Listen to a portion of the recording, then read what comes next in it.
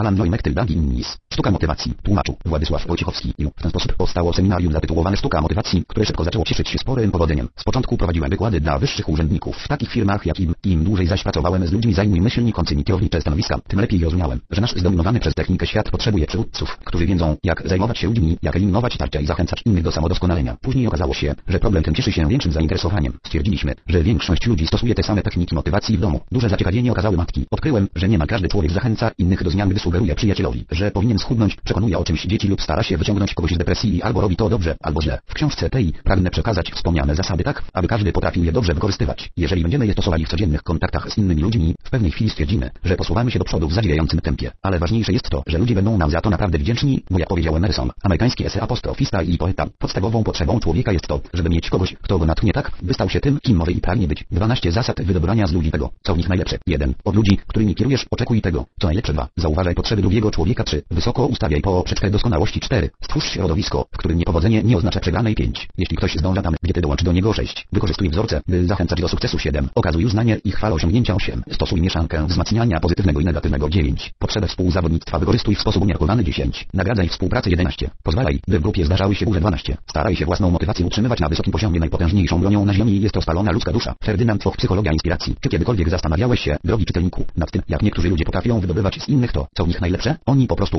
jak tych, którymi kierują, zmobilizować do dodatkowego wysiłku. Wszyscy ich znamy to nauczyciele, dyrektorzy firm, a także trenerzy drużyn basketballowych i matki. Choć często nie mogą się poszczycić pięknym wyglądem ani nadzwyczajną inteligencją, mają jednak talent do inspirowania innych. Dzięki tej zdumiewającej umiejętności odnoszą sukcesy prawie we wszystkim, co robią. Są też jednak tacy ludzie, którzy budzą w nas to, co najgorsze, w ich towarzystwie czujemy się niezręcznie, niestosownie, zachowujemy się w sposób negatywny, który później dziwi nas samych. Perswazje takich osób zawsze zmieniają się w końcu w wykład i chociaż być może pragną nas zainspirować, w rzeczywistości tylko zbijają nas z topu. Źródła inspiracji. Zawód psychoterapeuty pozwala mi obserwować, jak wzajemnie na siebie i zastanawiać się nad źródłami inspiraku apostrof. I, spotykając ludzi sukcesu, pytałem skąd wzięła się twoja motywacja, kto ci wskazał właściwą drogę i jak tego dokonał, gromadząc informacje i studiuj myślnikom biografię wielkich przywódców. Zacząłem sobie uświadamiać, że w interesach, w polityce, w rodzinie i właściwie w każdym aspekcie życia motywacja ogranicza się zaledwie do kilku zasad. Okazuje się, że tacy ludzie jak trener drużyny amerykańskiego odparu z Uniwersytetu w Alabamie John Bryant, manager i lacowca szef korporacji Forda, a potem Chrystiera czy matka Teresa z Kalkuty stosują podobne metody zachęcania innych do działania i że ich otoczenie reaguje w bardzo podobny, dający się przewidzieć sposób. W dalszych rozdziałach przyjrzymy się wielu takim przywódcom stosowanym przez nich metodom pobudzania zwykłych ludzi do nadzwyczajnego wysiłku. Mam nadzieję, że uda mi się wskazać, jak ty sam, czytelniku, możesz wykorzystywać te metody w swych codziennych kontaktach z innymi ludźmi. Zasady przedstawione w tej książce, a jest ich 12, są niezwykle proste. Może je opanować dosłownie każdy, jeśli tylko naprawdę pragnie pomagać innym. Nie twierdzę, że takie umiejętności zdobywa się bez wysiłku. Zmiana nawyków jest zadaniem wyjątkowo trudnym, a opanowanie sztuki motywacji wymaga ciężkiej pracy. Jednak przy odrobinie wytrwałości i w tej dziedzinie każdy może zostać ekspertem. Nikt nie rodzi się z darem inspiracji, tego trzeba się nauczyć. I to na ogół samemu. Siła inspiratora. W tej kwestii szerzy się ostatnio pewien zupełnie błędny pogląd, że nikt nikogo nie inspiruje, a cała motywacja musi pochodzić z wnętrza człowieka. Ale przypomnijmy sobie czasy, gdy byliśmy u szczytu formy. Czyż nie była ona wynikiem wpływu innego człowieka, może nauczyciela, który potrafił wydobyć z nas coś więcej i tak zainteresować jakimś problemem, że całymi nocami ślęczeliśmy nad książką, a może szefa, który pracę czynił zabawą i umiał tak zespolić grupę pracowników, że dawali z siebie więcej niż można na co dzień oczekiwać. Wellington stwierdził, że obecność Napoleona na polu walki równała się walce przeciwko dodatkowym 40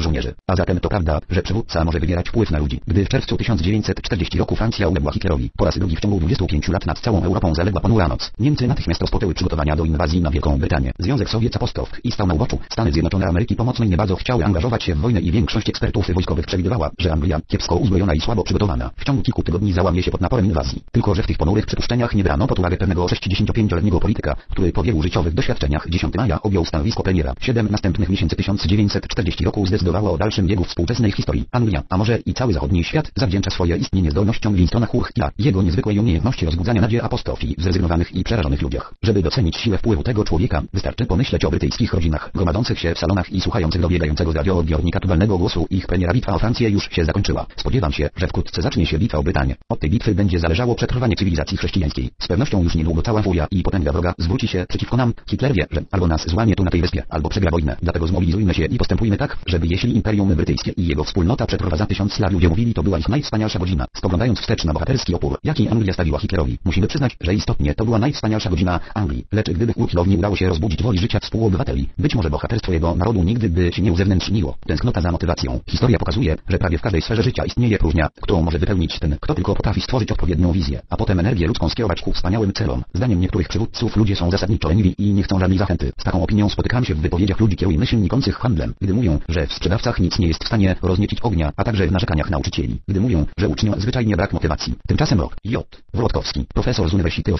Wisconsin, twierdzi, że nie ma ludzi całkowicie pozbawionych motywacji. Proponuje bardziej precyzyjne stwierdzenie, ten chłopiec nie ma motywacji do uczenia się ze mną. Przecież podczas wyprawy na Rydycherii podrabi się z łóżka o trzeciej nad ranem i okaże mnóstwo zainteresowania. Wystarczy popatrzeć, jak zdecydowanie pracownicy wyjeżdżają po pracy z parkingu, by zrozumieć, że nie cechuje ich lenistwo. Spieszą się do swoich wieczornych zajęć, chociaż niektóre na pewno będą wymagały większego wysiłku niż praca w fabryce. A zatem rola przywódcy nie polega na tym, żeby ludzi leniwych zmieniać w pracowitych. Chodzi raczej o skierowanie istniejącej już energii ku godniejszym celom. Ludzie nie cierpią bezczynności i nudy. Zazwyczaj są zadowoleni z szefa, który potrafi ich nauczyć, jak cieszyć się pracą, albo z nauczyciela, który wie, jak wpoić uczniom zamiłowanie do nauki. Dzięki czemu gładko mija każdy szkolny dzień. O pewnej matce, która zachęcała swoje dzieci. Ranchołazy. B. Ranch to 260 mil kwadratowych ziemi na granicy Nowego Meksyku i Arizony. Jest własnością rodziny Dejów od roku 1881. Gdy Harry M. i Adzie Badej miało się urodzić pierwsze dziecko postowko, pojechali do szpitala w odległym o 200 mil El Paso. Ich życie nie było łatwe. W czteroizbowym domu, zbudowanym z suszonej na słońcu cegły, nie było bieżącej wody ani prądu. W okolicy nie było szkoły. Można by pomyśleć, że perspektywy intelektualnego rozwoju ich córeczki Sandy przy tak ograniczonych możliwościach rysują się raczej nieciekawie. Ale Harry i Adam byli marzycielami i nie pozwalali, żeby otoczenie w jakikolwiek sposób ich ograniczało. Po śmierci ojca Harry przejął farmę zamiast rozpoczynać studia w Stanford University, ale nigdy nie stracił nadziei apostrofii, że pewnego dnia jego córka będzie tam studiować. Adame prenumerowała takie gazety i czasopisma jak Vogue i The New Yorker. Gdy Sandra skończyła 4 lata, matka zaczęła uczyć dziecka apostrofką domową metodą Salverta, a później dopilnowała, żeby dziewczynka chodziła do najlepszych szkół. Brat Sandry Alan opowiadał, że pewnego lata cała rodzina wsiadła do samochodu i wyruszyła na wyprawę do stolic stanowych na zachód od Mississippi. Zwiedziliśmy wszystkie najciekawsze miejsca, w końcu jednak musieliśmy wracać do domu. Sandra rozpoczęła studia w Stanford, potem ukończyła wydział prawniczy i ostatecznie została pierwszą sędziną Sądu Najwyższego Stanów Zjednoczonych. Na uroczystość zaprzysiężenia przyjechała cała rodzina Dale'ów. Podczas ceremonii Alan uważnie obserwował, jak siostra wkłada togę, a potem zbliżył się do miejsca, gdzie siedziała wśród innych sędziów. Sandra rozejrzała się, zauważyła swoich najbliższych, popatrzyła na nich i wtedy z jej oczu popłynęły łzy, co sprawia, że kobieta pokroju Sandry Bejo apostrof Honor może tak wiele osiągnąć. Inteligencja z pewnością tak i dużo wewnętrznego uporu, ale jej sukces to również dzieło zdecydowanej kobiety z niewielkiego rancho, która godzinami czytała dzieciom książki. To jest także zasługa rodziców, pokazuje myślnikących dzieciom różnorodne zainteresowania miejsca. Inspiracja nie jest manipulacją w tym miejscu. Muszę kategorycznie stwierdzić, że nie chcę tu mówić o manipulacji. W ostatnim dziesięcioleczu wydano wiele książek, które uczą, jak wyjść na prowadzenie stosu i myślnikąc zastraszanie i krocząc po tubach podwładnych. Jeżeli szukacie tego rodzaju porad, to kupuj myślnikąc tę książkę straciliście pieniądze. Lepiej zwróćcie ją, bo nie dowiecie się z niej, jak innych ludzi naginać do własnych potrzeb. Moja książka mówi o motywacji, a nie o manipulacji. Różnica jest wyraźna. Manipuluje ten, kto nakłania ludzi, żeby robili to, co jest najlepsze dla niego samego. Inspiratorem zaś jest ten, kto wytycza cele korzystne dla obu stron, a potem łączy wysiłki w bardzo skutecznym, wysoce moralnym partnerstwie, by cele te osiągnąć. Dlaczego każdy przedsiębiorca musi być psychologiem? Sukces finansowy na ogół zależy bardziej od umiejętności kierowania ludźmi niż od ciężkiej pracy i wiedzy. Nie jeden człowiek robi błyskotliwą karierę dzięki olbrzymiej wiedzy technicznej, ale gdy osiągnie poziom, na którym dalszy sukces jest uzależniony od wysiłku innych, zwyczajnie grzęźnie, bo nie nauczył się sztuki pomnażania sukcesu przez motywację. Pewien pracuj myślnikący w przemyśle psycholog twierdzi, że awans szeregowych pracowników w 90% zależy od ich wiedzy technicznej. O awansie na stanowiskach kierowniczych w 50% procentach decyduje wiedza techniczna, a w 50% umiejętności porozumiewania się z innymi ludźmi. Jeśli chodzi o osoby zajmuj myślnikące stanowiska dyrektorskie, tylko w 20% o awansie decyduje wiedza techniczna i aż w 80% umiejętność kierowania ludźmi. A zatem gdy człowiek wchodzi na wyższy apostrof, szy apostrof, szczebel drabiny zarządzania, stosunek umiejętności do wiedzy ulega całkowitemu odwróceniu. Goethe, znakomity Niemiec apostrof i poeta okresu romantyzmu stwierdził, że nawet największy geniusz niewiele jest wart, jeśli próbuje wykorzystywać wyłącznie własne umiejętności. Tymczasem prawa tego nie zna zadziwiająco dużo ciężko pracy i myślnikących ludzi, którym ciągle brakuje odrobiny szczęścia. Ludzie ci nie realizują swoich wielkich celów, ponieważ nie opanowali sztuki inspirowania innych. Ci natomiast, którzy wysuwają się do przodu, mimo że często nie są szczególnie wybitni, mają jedną, szczególną cechę. Ich podwładni zawsze mają o wiele wyższą wydajność od innych. Chociaż tacy szefowie niekoniecznie pracują po nocach, to gdy pracują,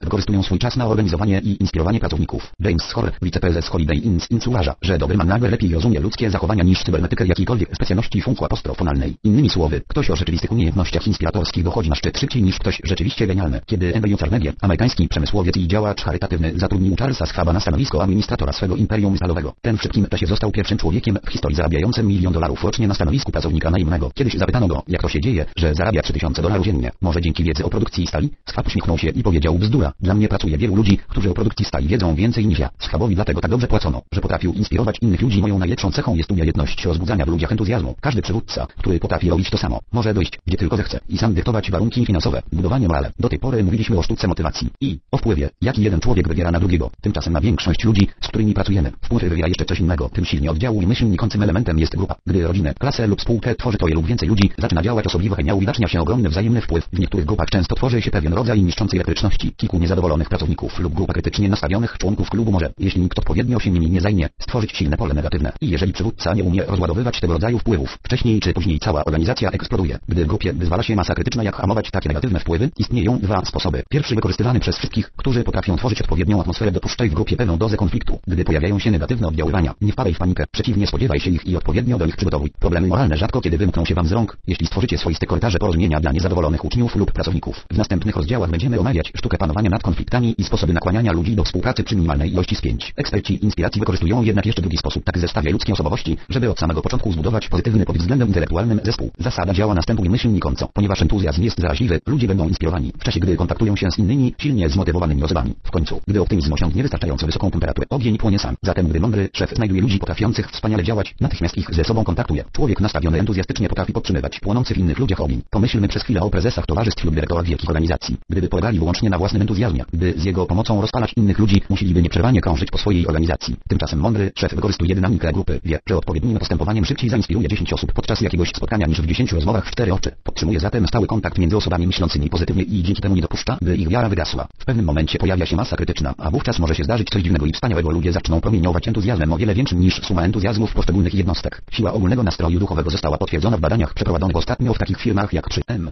i Tolej, Procter Gamble i BM. Okazało się, że firmy te odnoszą sukcesy w czasach dobrych i złych, ponieważ każda z nich stworzyła własną kulturę. Nowy pracownik takiej firmy dowiaduje się, że my tutaj pracujemy w pewien określony sposób. Atmosfera wspólnych celów i wartości kieruje ludzi we właściwą stronę, eliminuje zamieszanie i oszczędza czas. Taki duch koleżeństwa istnieje również we wszystkich dobrych rodzinach, dzięki czemu dzieci osiągają o wiele więcej niż przeciętnie. Ktoś z zewnątrz może przypisywać sukces takich dzieci ich wysokiemu dorasowi inteligencji, podczas gdy w rzeczywistości chodzi o coś ważniejszego niż inteligencja. To coś wywodzi się z stworzonej w rodzinie atmosferze, z entuzjazmu, ze swoistej kultury. Członkowie rodziny dążą do wspólnych celów i wzajemnie zachęcają się do doskonałości, złożoność inspiracji. Nikt nie wie, dlaczego jedna grupa tworzy zespół osiągający sukcesy, a inna samobójczy tłum. Podobnie nie znamy wszystkich powodów, dla których jedni ludzie pragną prześcignąć drugich, a inni takiej potrzeby nie odczuwają. Istnieją liczne czynniki, związane najogólniej z atmosferą i fizjologią, z czasem i miejscem. W książce tej nie próbuj nikogo przekonać, że dzięki jednej magicznej technice całkiem przeciętnie uczące się dziecka postrowko można zamienić w geniusza albo mało wydajnego pracownika w tytana pracy. Prezentowane zasady mogą pomóc inspirować ludzi tak, żeby zdobywali się na większy wysiłek. Przez 12 lat drużyna Green Bay Packers wygrywała zaledwie 30% meczów, a w roku 1958 podupadła prawie całkowicie, ale w roku 1959 zjawił się nowy trener Vince Lombardi. Podczas trwającej 9 lat trenerskiej pracy Lombardiego Packersi mieli 9 zwycięskich sezonów. Wygrywali w 75% i zdobyli 5 tytułów mistrzów NFL. Jak wytłumaczyć ten nieprawdopodobny zwrot? Frank Gifford, specjalista w dziedzinie psychologii i socjologii sportu twierdzi, że wiedza Lombardiego nie odegrała żadnej roli, bo inni trenerzy o strategii apostrof EU taktyce wiedzieli równie dużo. Chodziło raczej o jego umiejętność zachęcania zawodników. Lombardi potrafił wydusić dodatkowe 10% z każdego swojego zawodnika, twierdził Gifford. Wystarczy 10% pomnożyć przez 40 ludzi w 14 meczach podczas jednego sezonu, a wygraną ma się w kieszeni. W niniejszej książce przyjrzyjmy się sukcesom wielu przywódców, którzy podobnie jak Lombardi wiedzieli, jak podległych im ludzi nakłonić do dodatkowego wysiłku. Wykorzystuj myślnikąc te zasady. Powinniśmy wykrzesać te dodatkowe 10% również ze swojej grupy, a może właśnie tego brakuje nam do wygranej. Najważniejszą rzeczą, jakiej nauczyłem się podczas mojego długiego życia, jest to, że drugi człowiek staje się godnym zaufania, kiedy mu się ufa. Na pewno taki nie będzie, jeśli inni mu nie zaufają i będą to okazywać. Henry L. Stimson oczekiwać tego, co najlepsze. Trzy miesiące po zakończeniu 25-letniego stażu pracy w firmie handlowej i przejściu na emeryturę Jaś postanowiła założyć własną firmę. Jej adwokat i wielu znajomych uważało, że oszalała, gdy oszczędności całego życia w kwocie 5000 dolarów bardzo ryzykownie zainwestowała w stworzenie firmy kosmetycznej. Ale pani aż głęboko wierzyła, że jej przekonania sprawdzą się w świecie interesów. W roku 1983, po 20 latach istnienia firmy, wartość sprzedaży wyniosła 323,8 miliona dolarów. W ciągu ostatnich 5 lat zyski sięgały 40%. Co w amerykańskim przemyśle oznacza bardzo wysoki poziom. Jedno jest w tej firmie absolutnie niepowtarzalne w przedsiębiorstwie Ameryka i Cosmetics. Więcej kobiet zarabia rocznie ponad 50 000 dolarów niż w jakiejkolwiek innej firmie na świecie. Na czym polega sekret takiego sukcesu? Po części jest on wynikiem bardzo pozytywnej postawy, jaką pani aż okazuje wobec każdego swojego pracownika. Pragnęłam stworzyć firmę, która da kobietom możliwość osiągnięcia wszystkiego, na co je tylko stać. Pani aż jest najwyraźniej pewna, że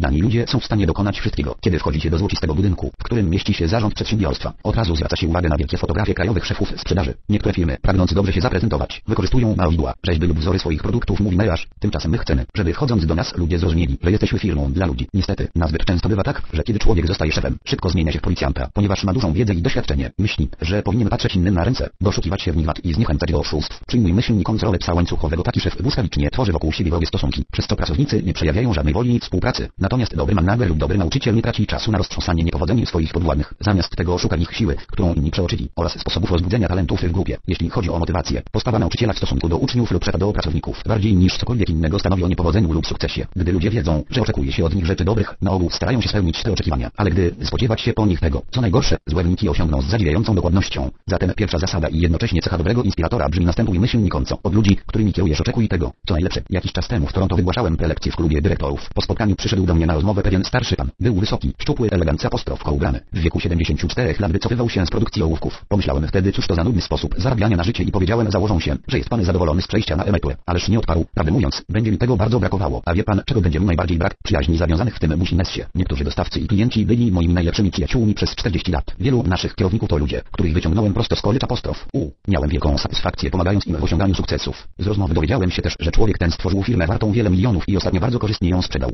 Jeśli jednak weźmie się pod uwagę jego głęboką wiarę w ludzi, to taki sukces nie powinien dziwić. Mężczyzna ten po mistrzowsku odkrywał w każdym człowieku coś pozytywnego i odpowiednio to wykorzystywał. Pomagając innym osiągać sukcesy, sam zarobił mnóstwo pieniędzy. W każdym przedsięwzięciu, w którym ma się do czynienia z ludźmi, czy to pracownikami, czy klientami, najważniejsza jest postawa. Upraszczając można powiedzieć, że ludzie, którzy lubią innych ludzi i wierzą, że ci, którymi kierują, mają dobre intencje, wydobędą z nich wszystko, co najlepsze. Z drugiej strony, przywódca o cechach strażnika, który widzi łącznie najgorszą stronę każdego człowieka, w pewnym momencie stwierdzi, że jego podwładni przyjmują postawę obronną i zamykają dostęp do swoich możliwości wewnętrznych. Jak to zmienić złodzieja. Badania psychologiczne coraz dobitniej wskazują na następuj myśl nikący fakt. Nasze oczekiwania mogą wydobywać z innych to, co w nich najgorsze lub to, co najlepsze. Przykładem takiego negatywnego oddziaływania jest kierownik, który uważa, że niektórzy pracownicy do niczego się nie nadają, albo nauczyciel, dla którego większość uczniów to lenie. Psycholog C. Kneitalbrich, który przez wiele lat zajmował się małoletnimi przestępcami, napisał fascynuj myśl nikący artykuł i opublikował go w jednym z czasopism psychologicznych. Wyjaśnił w nim m.in. w jaki sposób rodzice mogą bardzo szybko zmienić swoje dziecko apostrof w złodzieja. Oto jak tego dokonać. Załóżmy, że twój syn dopuszcza się drobnej kradzieży, co w pewnym okresie życia czyni większość dzieci. Niech to będzie paczka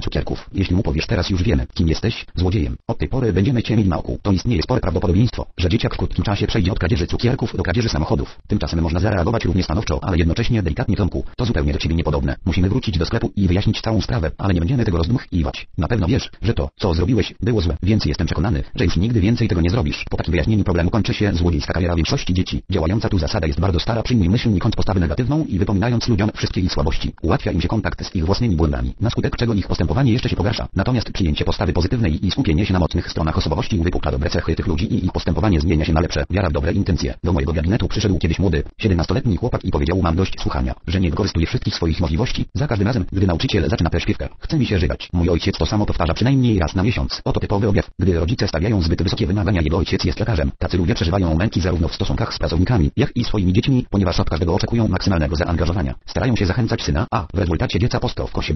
Zaraz wyjaśnię dlaczego. Mówiąc, masz w sobie wielki potencjał, pochwalił jego talent. Niestety, natychmiast zniweczył działanie tego stwierdzenia dodając, ale nie wykorzystujesz swoich możliwości. W ten sposób przypuścił atak na charakter chłopca, a to jest niebezpieczne. Każdy z nas, choćby nie wiem jak niedbały, chce wierzyć, że ma dobre intencje, a jednocześnie pragnie, żeby inni ludzie też w to wierzyli. Efekt Pigmaliona. Sztuce George'a Bernarda Shawa zatytułowanej Pigmalion profesor pomaga Kotmołuchowi o nazwisku Eliza Duli stać się elegancją apostrof daną. Zasadniczo udaje mu się to dzięki temu, że zawsze traktuje ją jak dane, aż w końcu ona zaczyna spełniać jego oczekiwania. Goethe tę zasadę następuj myśl nikąco. Traktuj człowieka według tego, jak wygląda, a uczynisz go gorszym. Ale traktuj myśl nikącego według tego, kim mógłby być. Naprawdę takim go uczynisz. Badania przeprowadzone przez Roberta Rosenthala, psychologa z Harvardu i Leno Jacobson, dyrektorkę jednej ze szkół w San Francisco, służą wspaniałym przykładem. Postanowiono znaleźć odpowiedź na następuj myśl nikące pytanie, czy rzeczywiście niektórzy uczniowie słabo się spisują, dlatego że nauczyciele właśnie tego się po nich spodziewają myślnik. Jeśli tak, to podwyższenie oczekiwań ze strony nauczycieli powinno pozytywnie wpłynąć na dzieci. Grupę dzieci z pierwszych sześciu klas poddano więc testowi na zdolność uczenia się i następnej jesieni nowym nauczycielom całkiem przypadkowo przekazano nazwiska pięciorga czy sześciorga tych, które miały być wyjątkowe. Nauczyciele nie wiedzieli, że zamieniono wyniki testów, a nazwiska dzieci, które miały się wykazać,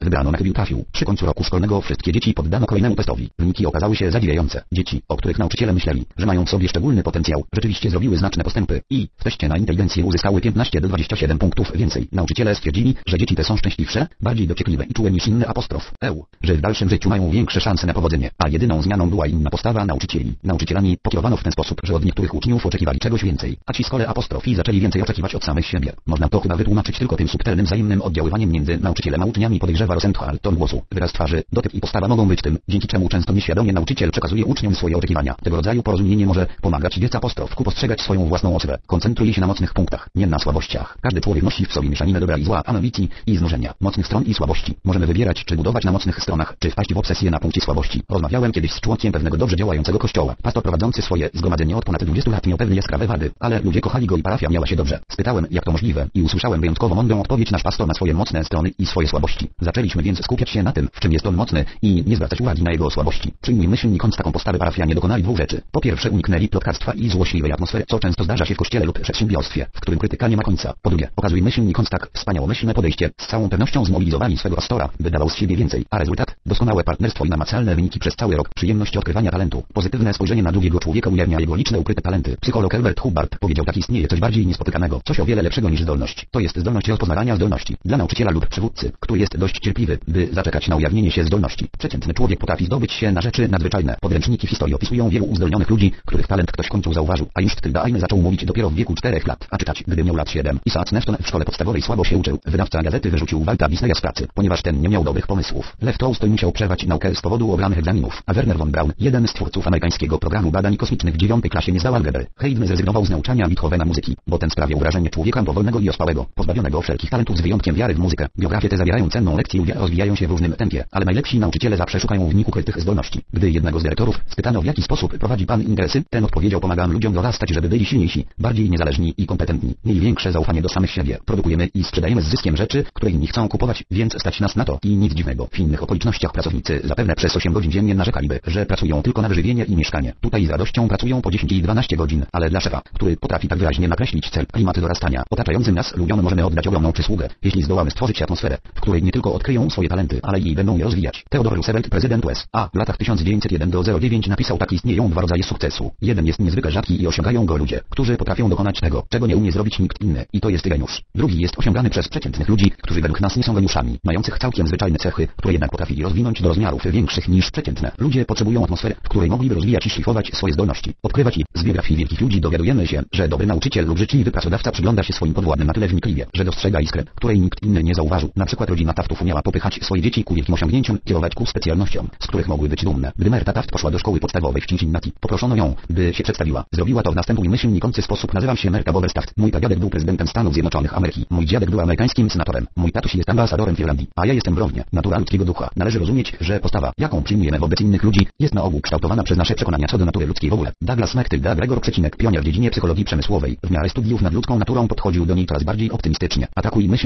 co sam nazwał teorią X.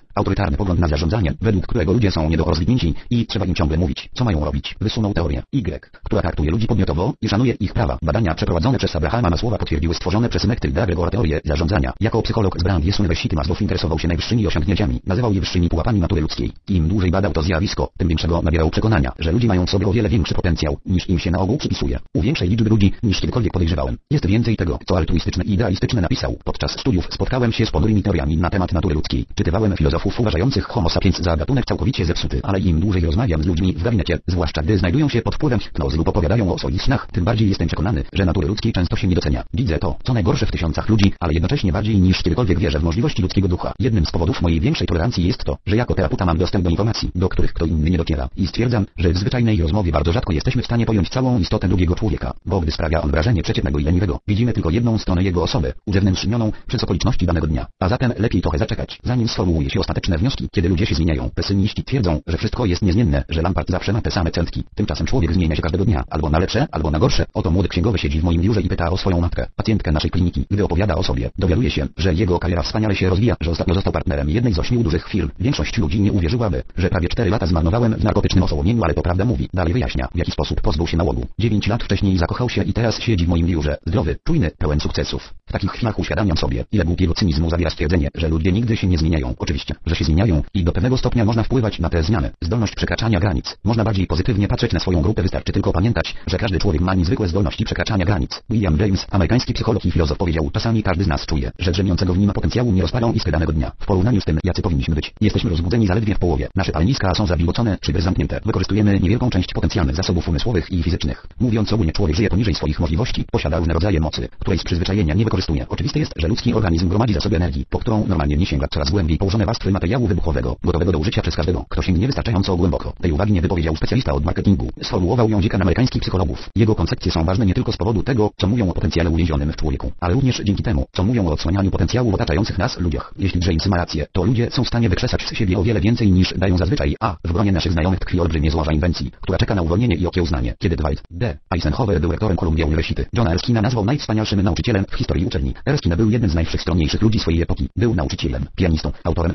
60 książek, dyrektorem Juilliard School of Musie, popularnym i dowcipnym mówcą. Opisuj myśl Nikons tę godną uwagi karierę. Jego żona Helen przypisała sukces wyzywającemu optymizmowi męża. Erskine był dobrym nauczycielem dzięki własnej ekscytacji nauką. Często mawiał do żony powiedzmy naszej młodzieży, że najlepsze książki trzeba dopiero napisać, najlepsze obrazy jeszcze namalować, najlepsze rządy dopiero stworzyć i że wszystko, co najlepsze, zrobią dopiero oni. Podkreślanie pragnienia sukcesu. Chociaż ten fakt wydaje się oczywisty, wielu ludzi po prostu go ignoruje. Zatem powiedzmy sobie wyraźnie, nikt nie chce być bankrutem. Prawie każdy pragnie sukcesu. Każdy człowiek wierzy, że ma przed sobą lepszą przyszłość, powiedział Ralph Emerson, amerykański apostrofista i poeta. Pacjenta. I rzeczywiście, mam wrażenie, że wszyscy moi pacjenci wierzą, iż bez względu na to, jak są załamani, są zdolni do osiągnięcia czegoś lepszego. Może zachowują się okropnie i działają byle jak, ale chcą spisywać się lepiej. Sami siebie przekonują, że mierność ich działań ma konkretne powody. Dobrymi chęciami jest piekło wybudowane, powiadają dumnie sceptycy. Rzecz jednak w tym, że w głębi duszy każdy człowiek odczuwa pęd do osiągnięcia czegoś, do bycia kimś. Oto wspaniałe miejsce do popisu dla inspiratora, jeśli potrafi podsycić ten pęd, uwierzyć w przyszłość drugiego człowieka, ten zrobi prawie wszystko, by udowodnić, że był tego wart. Tacy ludzie będą dla ciebie pracować lepiej niż dla kogokolwiek innego na świecie. Billy Hewlett, jeden z założycieli firmy apostrof Kant powiedział tak, nasza polityka wypływa z przekonania, że ludzie chcą lepiej pracować, chcą pracować twórczo i jeśli umieści się ich we właściwym środowisku, to właśnie będą robić. Bardziej niż ja sama chciała, żebym osiągnęła sukces. Pewnego razu czekałem na możliwość zabrania głosu podczas konferencji, na której wręczano doroczne nagrody dla wyróżniających się handlowców. Kobieta, która tego roku miała szczególne osiągnięcia i zarobiła wyjątkowo dużo pieniędzy, cały zaszczyt przypisała swojej szefowej, stojąc przed tłumem 3000 ludzi i ściskając w dłoniach nagrodę. WSPO miała kryzys, w jakim tkwiła przez dwa ostatnie lata. Przyszłość rysowała się tak niewesoło, że była gotowa zrezygnować i nawet kilka razy telefonowała do zwierzchniczki z zamiarem zrezygnowania z pracy, ale ta przekonywała ją i mówiła, że jeszcze nie dość długo próbowała, że nie zatrudniłaby jej, gdyby nie widziała w niej wielkiego potencjału. W pewnej chwili głos opowiadającej się załamał i padły następuj myśl nikące, mądre słowa przez wszystkie miesiące. Gdy chciałam to rzucić myślałam, że nie mam przed sobą żadnej przyszłości. Joan wierzyła we mnie bardziej niż ja sama. Ona bardziej niż ja sama chciała, żebym odniosła sukces. Oto jak szef może skutecznie stosować naszą pierwszą zasadę motywacji od ludzi, którymi kierujesz, oczekuj tego, co najlepsze chęć do życia każdego człowieka musimy szanować tak samo jak swoją własną. Albert Schweitzer skrojony na miarę plan motywacji. Święty Tomasz Zakwinu włoski teolog i filozof z XIII wieku, który dużo wiedział o edukacji i motywacji, stwierdził, że kiedy drugiego człowieka chce się przekonać do własnych poglądów, trzeba podejść tam, gdzie on stoi, wziąć go za rękę i poprowadzić. Nie można stać w drugim kącie pokoju i krzyczeć. Nie wolno traktować go jak statysty w teatrze i kazać mu podejść. Trzeba zacząć z tego punktu, w którym on się znajduje. To jedyny sposób na ruszenie go z miejsca. Działanie tej zasady widać wyraźnie w sukcesach Franka Betkera, sprzedawcy polis ubezpieczeniowych na życie. Był zawodowym basebalistą, ale ponieważ często łamał ręce, musiał zmienić zajęcie i postanowił sprzedawać polisy ubezpieczeniowe. Niestety nie szło mu dobrze. Mając 29 lat był nieszczęśliwym, zadłużonym po uszy bankrutem. Lecz choć to brzmi niewiarygodnie, później odniósł tak wielki sukces, że mógł przejść na emeryturę w wieku 41 lat. Ten gwałtowny zwrot przypisuje Betker zmianie podejścia do sprzedaży polis. Co nastąpiło? Gdy usłyszał pewną wypowiedź w hotelu Bellevue Statford w Filadelfii, mówił jeden z najlepszych agentów handlowych Ameryki, J. Elliot Halley. Halley opowiadał, że borykał się z trudnościami. Omal nie zrezygnował, ale że w pewnym momencie zrozumiał powód swoich niepowodzeń. Stwierdził, że wygłaszał za dużo pozytywnych stwierdzeń. Wydało mi się to dość naiwne, przyznał Betker, ale zmusiło mnie do wysłuchania całego wywodu. Halley wyjaśnił, że jego błąd polegał na tym, iż zbyt dużo czasu poświęcał na zachwalanie swoich produktów, a za mało na uzyskanie wiadomości o swoich przyszłych klientach. Pytania Halla miały tylko jeden cel, mówi Betker, pomóc ludziom zrozumieć, czego chcą, a potem pomóc im zdecydować, jak to zdobyć. I data zrewolucjonizowała podejście Betkera do handlu. Wcześniej był to tylko sposób zarabiania na życie. Nie chciałem spotykać się z ludźmi z obawy, że potraktują mnie jak nudziarza, ale znalazłem źródło inspiracji i postanowiłem, że resztę mojej handlowej kariery podporządkuję tej jednej zasadzie dowiedzieć się, czego ludzie potrzebują i pomagać im to zdobyć. A zatem druga zasada wydobywania z ludzi tego, co w nich najlepsze, brzmi następuj myśl nikąco. Zauważaj potrzeby drugiego człowieka. Niestety, wielu przywódców ignoruje ten wstępny krok. Uważają, że zachęcanie jest równoznaczne z poklepywaniem po plecach i hura optymistycznym przekonywaniem. Tymczasem motywacja jest czymś więcej. Plan motywacji musi być idealnie dopasowany, jak ubranie na modelu. Zanim uruchomimy program działania i zaczniemy wprowadzać zmiany, musimy uważnie przyjrzeć się ludziom. Trzeba zadać wiele pytań, dowiedzieć się, gdzie ci ludzie byli, dokąd zmierzają, w co wierzą, jakie są ich czułe punkty, co kochają, a czego nienawidzą. Innymi słowy, musimy wniknąć w aktualny stan ich osobistych potrzeb. Freud, twórca teorii psychoanalizy zrobił nam wielką przysługę wykazuj myśl nikąd, że ludzkie zachowania mają określone przyczyny i że każdego człowieka można inspirować. Skoro więc ludźmi kierują pragnienia, to można uniknąć frustracji i niepowodzeń, przyglądając się uważnie i dowiaduj myśl nikąd, w jaki sposób najskuteczniej przemówić do ich zainteresowań. Frank Bettker powiada, jak tę zasadę zastosował w swoim kościele. Gdy wybrano go na kierownika niewielkiej, borykającej się z trudnościami szkółki niedzielnej, przede wszystkim pomyślał o potrzebie powiększenia tej organizacji. Mogłem wstać i powiedzieć ludziom, że ponieważ mnie wybrali, oczekuję od nich współpracy i pomocy. Doszedłem jednak do wniosku, że o wiele większą szansę zdobycia tego, czego z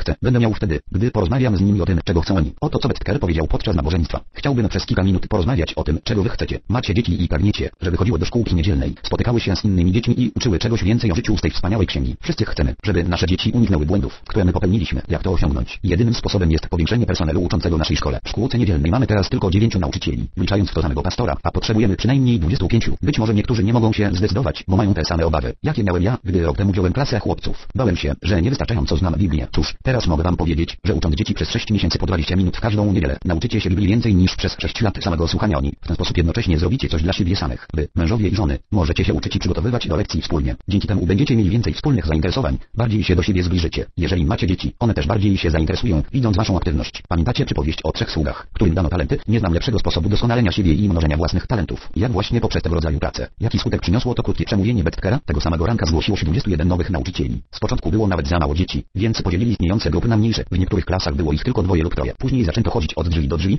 i zachęcać ludzi. Do szkółki niedzielnej wstąpiły prawie wszystkie dzieci z Wynnefield w Pensylwanii. Ostatecznie zbudowano tam nowy kościół. Ludzie mają różne potrzeby. Powiedzieliśmy już sobie, że sukces osiąga się dzięki poznawaniu i odwoływaniu się do potrzeb innych ludzi. Vic Ziglar, konsultant wielu firm marketingowych, ujmuje to bardziej kategorycznie możesz zdobyć w życiu, co tylko zechcesz, jeśli wystarczającej liczbie ludzi pomożesz zdobyć to, czego oni pragną. Jednak w tym miejscu łatwo fatalny błąd, który polega na założeniu, że inni ludzie mają takie same potrzeby jak ty, lub że potrafisz te potrzeby przewidzieć nie pytając o nie ani o nich nie słuchając. Pewien wykładowca, specjalista od handlu opowiada, że jego zwierzchnik źle nim kieruje. Pewnej wiosny wezwał go i wyjaśnił, że nie może podnieść mu pensji, ale zmniejszy liczbę godzin pracy i rok wcześniej wyśle na emeryturę. Powiedział to tak, jakby to było nie wiem jak ważne, mówi wykładowca, ale nie wiedział, że nie odczuwam wielkiej potrzeby porządku. Lubię żyć w świecie umiarkowanego chaosu, bo wtedy najlepiej pracuję. Nie lubię wiedzieć, co zdarzy się w przyszłości. W związku z tym emerytura nie była dla mnie tym, czym dla osła jest marchewka. Prawdę mówiąc, to było dla mnie dodatkowym obciążeniem. Poza tym mój szef nigdy mi się nie przyjrzał, więc nie wiedział, że uwielbiam uczyć i byłbym gotów płacić za ten przywilej oczywiście, gdyby było mnie na to stać. Gdyby powiedział, że dla polepszenia pracy wydziału trzeba ponieść pewne ofiary. Gdyby rzucił mi wyzwanie, proponuj myślnikąd większy wymiar godzin pracy, prawdopodobnie skorzystałbym z tej okazji. Gdyby tylko zadał sobie trud i dowiedział się trochę więcej o mnie i moich zainteresowaniach, z pewnością skutecznie wpłynąłby na moją motywację. Przekonania religijne. Jeżeli przywództwo ma mieć również pewien rys indywidualny, trzeba poznać także przekonania religijne drugiego człowieka. Nadzoruj myślnikący pracę młodych terapeutów, rozmawiając o ich pacjentach, dziwię się często, że prawie nie zwracają na to uwagi. Podejrzewam, że w szkole podstawowej nauczono ich, aby nie dyskutowali o religii, ale popełniają błąd myśląc, że dobry terapeuta rozmawia tylko o uczuciach i nigdy nie wkracza w sferę przekonań religijnych. A przecież tego nie da się rozdzielić, bo wiara w znacznym stopniu determinuje zachowanie człowieka i jego życie emocjonalne. Według psychoterapeuty M. Scotta Peca Postrowka niektórzy ludzie twierdzą, że nie mają religii, a jednak posiadają bardzo konkretny pogląd na świat. Jeśli na przykład człowiek widzi wszechświat jako miejsce brutalnej walki o przetrwanie, to terapeuta lub każdy, kto chce tej osobie pomóc, musi o tym wiedzieć. To zrozumiałe, że gdy ma się do czynienia z pacyfistą, nie można go inspirować sięgając po argumenty militarne. Gdybym spytał moich pacjentów o przekonania religijne, wielu z nich powiedziałoby, że właściwie nie są ich pewni. To jeden z powodów, dla których zdecydowałem się na terapię rzucą z odrobiną przesady. Nie mam pojęcia, w co wierzę. Dla tej kategorii ludzi mam gotowe bardzo proste zadanie. Proszę, żeby przed następnym spotkaniem spisali przynajmniej 20 rzeczy, których są pewni. Oczywiście nie muszą to być deklaracje wstrząsające światem, po prostu parę rzeczy, które według nich są prawdziwe. Coś, co kochają i czego nienawidzą. Podczas pierwszej wizyty u mnie pewien inżynier powiedział, że nie wie, co się z nim dzieje, bo często płacze, a weekendy często przysypia. Człowiek ten wychowywał się w porządnym chrześcijańskim domu. Potem się zbuntował i teraz uważa się za agnostyka. Wszystko wydaje mi się względne. Moralność całkiem się zmieniła. Zmieniły się wszystkie normy. Czuje się tak, jakby we wszystko wątpił i nie wierzył już w nic. Być może myślał, że zrobię mu wykład na temat powrotu do wiary, ale ja poprosiłem tylko, żeby poszedł do domu i zrobił spis tego, w co wierzy. Jeśli ma pan wątpliwości co do swoich przekonań religijnych, powiedziałem, niech je pan chwilowo odłoży na bok i skoncentruje się na rzeczach, których jest pan absolutnie pewien. Gdy po tygodniu znowu do mnie przyszedł, miał w ręku notes. Zauważyłem jeszcze coś, jego spojrzenie już nie było puste. Był zmieszany, bo swój spis uważał za chaotyczny. Znalazłem w nim następuj myślnikące stwierdzenia zwierzęta zasługują na lepsze traktowanie. Jestem szczęśliwszy, gdy mieszkam bliżej oceanu. Seks jest wspaniały. Ważne jest, żeby mówić prawdę. Mistrzostwo w pracy jest rzeczą dobrą, a praca niestaranna jest często źródłem kłopotów. Kochamy moje dzieci bardziej niż cokolwiek innego. Nienawiść zawsze jest zła, a miłość jest zawsze dobra. Życzliwość dla człowieka, który ma kłopoty, jest czymś wyjątkowo wspaniałym. Mężczyzna ten poczuł się lepiej, gdy po chwili namysłu stwierdził, że jednak w coś wierzy, że ma pewne przekonania, na których może się opierać. Chociaż ogólnie trawią go wątpliwości, podczas wspólnych rozmów lista coraz bardziej się wydłużała i wróciły niektóre dawne przekonania. Człowiek ten nawet zaczął znowu chodzić do kościoła, a zatem jedno musimy powiedzieć sobie jasno. Każdy człowiek ma pewien system, czasami bardzo głęboko skrywanych przekonań i dopóki nie zapoznamy się z ich konfiguracją, dopóki nie dowiemy się, co drugi człowiek ceni i czego w życiu chce, nie możemy oczekiwać, że uda się nam stworzyć plan skutecznej motywacji. Pytania? Wydaje się,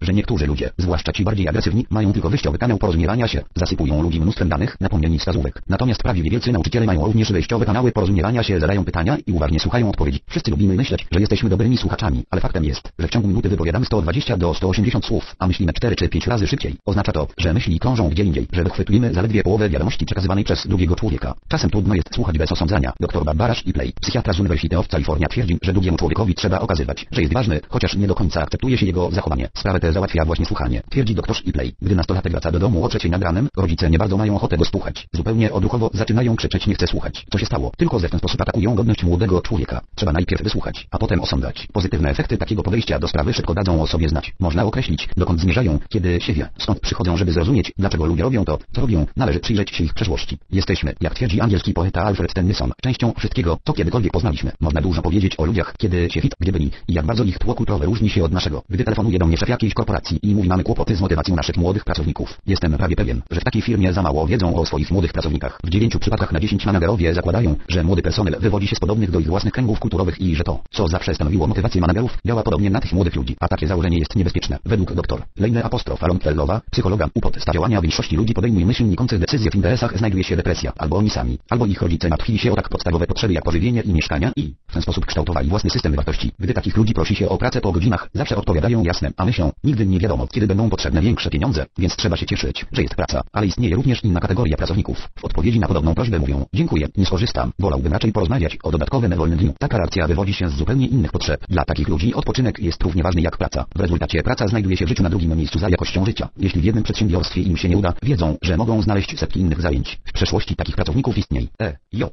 Jeszcze inna wyróżniająca cecha. W przeciwieństwie do kary kierowniczej młodsi pracownicy urodzili się w epoce powszechnej obawy przed zagładą atomową lub innej epoce politycznej. Dlaczego więc mieli mieliby teraz ponosić ofiary w nadzie apostrof i na spokojną starość, skoro starości mogą w ogóle nie dotykać. W tym przypadku popychanie do działania będzie bezskuteczne, dopóki nie zaczniemy brać pod uwagę tego, co tych ludzi ukształtowało, zmieniające się potrzeby. Poza wglądem w przeszłość trzeba również zrozumieć, że system potrzeb każdego człowieka podlega ciągłym zmianom. W zależności od punktu widzenia może to być przekleństwo albo błogosławieństwo. Dla wielu pracodawców problem ten jest stałym źródłem zdenerwowania, bo wydaje się im, że ich pracownicy nigdy nie są zadowoleni. Gdy przywódcę związkowego z końca XIX wieku, sam apostoł Fela Bompersa spytano, czego właściwie chcą związki, odpowiedział, czego chcemy? Mogę odpowiedzieć jednym słowem więcej. Niektórzy rodzice i managerowie wykazują podobne podejście do sprawy. Jeden z dyrektorów stwierdził następuj myśl nikąco, bez względu na to, jak bardzo staram się ich uszczęśliwić. Na pewno ktoś zaraz zacznie narzekać. Gdy tylko rozwiąże jeden problem, przychodzą do mnie z następnym. Tymczasem ludzka cecha, która temu managerowi przysparzała najwięcej kłopotów, była w istocie jednym z jego największych aktywów. Gdyby pracownicy nie mieli potrzeb, nie miałby się do czego odwoływać. Właśnie to niezadowolenie, niespełnione pragnienia i chęć posiadania czegoś więcej umożliwiają inspiratorowi budzenie motywacji w innych ludziach. Przemieszczając się przez to, co Shakespeare nazwał epoką człowieka, ludzka wierność i antypatie zmieniają się. To, co stanowi o motywacji dziecka apostrofka w tym roku, w przyszłym może się okazać nieskuteczne. Jedyny człowiek, który zachowuje się rozsądnie powiedział George Bernard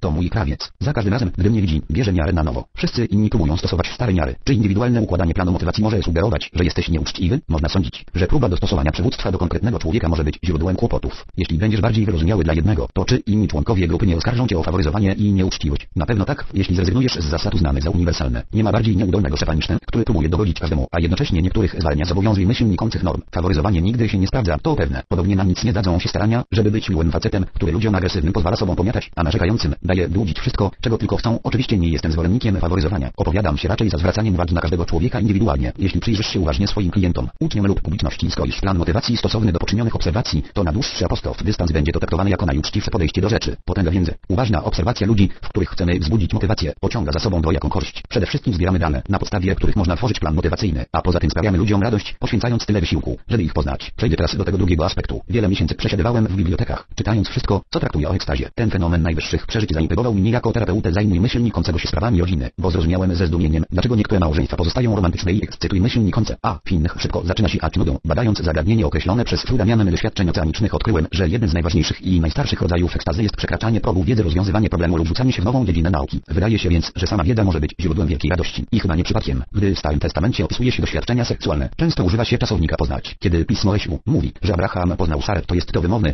i trafny opis miłości seksualnej, która oznacza zarówno dogłębną penetrację, jak i pełne pochłonięcie, czyli całkowite poznanie drugiego człowieka. Przyglądając się szczęśliwym małżeństwom, w których pielęgnuje się ekstazę, zrozumiałem nagle, że w takim partnerstwie mężczyzna i kobieta nigdy nie przestają się nawzajem poznawać. Nie zakładają, że skoro przeżyli ze sobą 20 lat, wiedzą dokładnie, co partner myśli. Przeciwnie, zauważają zmiany upodobań muzycznych, marzeń o wakacjach i celów w ogóle. Widzą również delikatne zmiany potrzeb seksualnych. Wiedzą, jak odwołać się do tego, czego pragnie ukochana osoba. Rozmawiałem kiedyś z kierownikiem sklepu, który miał romans pozamałżeński. Życie w moim domu nigdy nie było straszne, powiedział, ale wydaje mi się, że mojej żony w ogóle nie obchodzi to, co dzieje się ze mną. Jesteśmy małżeństwem od 26 lat i wydaje mi się, że ona bierze mnie za tego samego faceta, za którego kiedyś wyszła. Założę się, że nie potrafiłaby wymienić ani jednej książki, którą przeczytałem w ostatnim roku, chociaż jest ich w domu dość dużo. Mogę siedzieć przy komputerze i pracować przez 5 godzin, a ona nawet nie wetknie głowy do pokoju i nie spyta, co słychać ani jak mi idzie. Nigdy nie oczekiwałem, że w tym stadium będzie ją stać na ekstazę, ale czy to za dużo chcieć być poznanym i rozumianym? Pragnienia tego mężczyzny były dość rozsądne. Zawsze jednak pozostaje pytanie, co było pierwsze, jajko czy kura? Czy żona przestała interesować się jego psychiką dlatego, że jej nie zależało? Czy dlatego, że kiedyś w przeszłości doznała krzywdy myśląc, iż on przestał się już interesować slash e?